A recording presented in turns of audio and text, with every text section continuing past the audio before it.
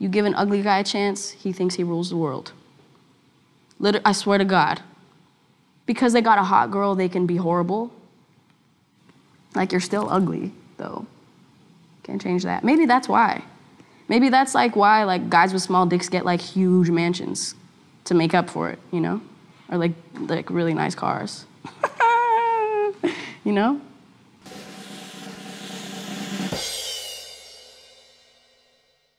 Invisalign can suck my dick. Honestly. Invisalign, like, okay, you know what? Here's the thing. When I got it, the first time it was the worst.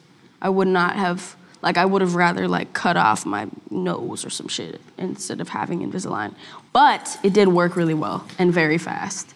And it's off now and I'm good. So fine, it's fine. It's shit is expensive as fuck. And dude, I mentioned it in my album and I still didn't get it for free. I still had to pay OD money. Still ah, so stupid. So stupid. I gave him mm, gave him so much. Stupid promo. These bitches still make me pay for a little clear grill. But Invisalign doesn't want to give me free Invisalign, so fuck them. Overrated.